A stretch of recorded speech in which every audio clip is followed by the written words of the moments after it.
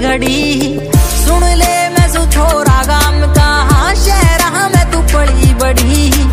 कंध है मेरा ज़िम्मेदारी तू मेरी पापा की परी। हाथा में मेहनत मेरी ही किस्मत गले अड़ी पड़ी।